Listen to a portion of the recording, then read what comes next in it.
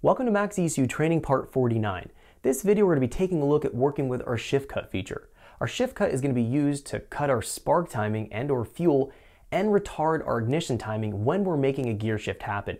If we have a sequential transmission or a dog box H pattern transmission and we want to do clutchless upshifts, we have to be able to have a power interrupt momentarily when we're making that shift happen so we can unload the transmission and we don't damage our transmission parts. We're gonna have a lot to cover in the programming and functionality here for the shift cut. We're gonna be taking a look at a variety of different ways we can implement this and how to go and set up and configure our sensor details in order to make this happen. We're gonna have a lot to cover. Let's jump in so we can check this out. Okay, so let's get started. We're going to be taking a look at working with our shift cut programming feature within our MaxxECU. The shift cut can allow us to retard our spark timing and cut our spark or fuel when we're making a gear shift happen. This is especially important when we're on a sequential or a dog box H pattern transmission doing clutchless upshifts or downshifts. We want to make sure that we're unloading the transmission so that the engine's not producing any power and we're reintroducing the power safely as we come back and we after we've made the gear change so we don't abruptly ramp the torque in and damage the, the, the, gears or the dogs as we're going in and trying to make that gear shift happen. If we're dealing with an automatic transmission, we generally want to go and retard the spark timing to begin unloading the transmission when we're making the gear change happen to ease the stress on the transmission internals. If we're dealing with a synchro style transmission with a clutch switch, we can do full throttle shifts. We want to interrupt the power of the engine when we're going and making the shift happen so it don't it doesn't damage the gear and or the synchro. So when we're dealing with the shift cut, the primary means or goals of the shift cut is to reduce the engine's power very, very briefly, enough that we can make the gear change happen without damaging the transmission. So it's either the gear or the dog assembly or the synchro, depending on uh, what kind of transmission we're working with. We're gonna take a look at a couple different examples here and how to set them up in our tutorial. Let's first go into the left side of the screen here. We're gonna go under start and move down here under motorsport. Now under motorsport, we're gonna jump into shift cut.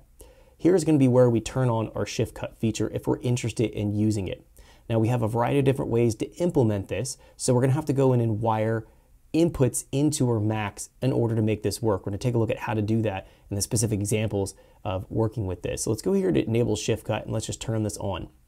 Now, we're going to go into our shift cut mode here, and we see that we have a whole bunch of different options. We have time pulse, time pulse with table, time pulse from sequential, time pulse from auto trans control, and input controlled shift cut and clutch switch. Each of these are going to be unique in the application we'll be using them on. Let's go here and break down what these mean, and I'll show you, go, show you how to go in and set these up based on our input configurations and then actually working with this, and I'll just demonstrate it real quick so you can get an idea of what to expect. So you know what to choose for your application that you're dealing with. Let's go here and take a look at our very first example under time pulsed shift cut input.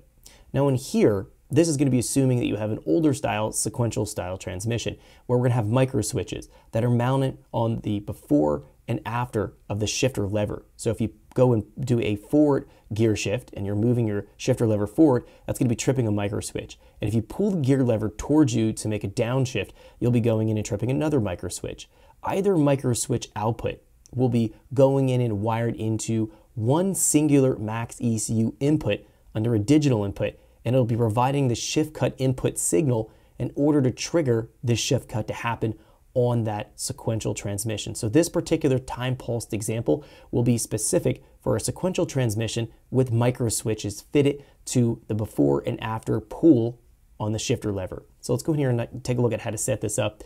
If we go to inputs and we go here to digital inputs. Um, I have, in this particular example here, as we're looking at it, digital input one, we'll go to the function. And in the function here, I have set up the micro switches on this particular shifter lever, and we go down here. They're going to be set into shift cut, and I've wired either output from my particular micro switches. Um, so there's there's two inputs. So each micro switch has its own input.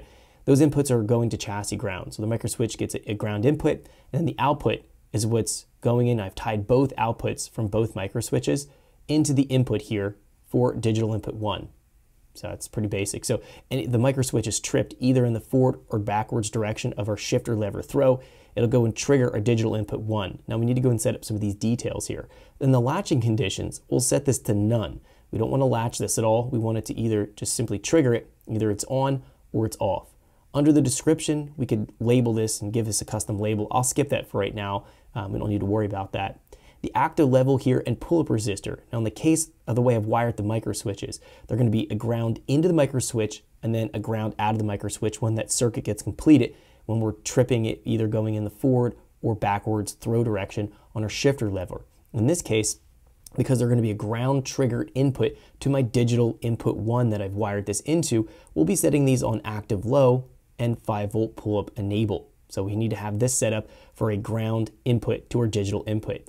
If you have a 12 volt, so you've wired 12 volt into your micro switch and 12 volt out of your micro switch, that's your signal out, you'll go and set this to the opposite under rising, and then you don't need your pull up resistor enabled. So we're gonna go and set that to the opposite of our configuration here.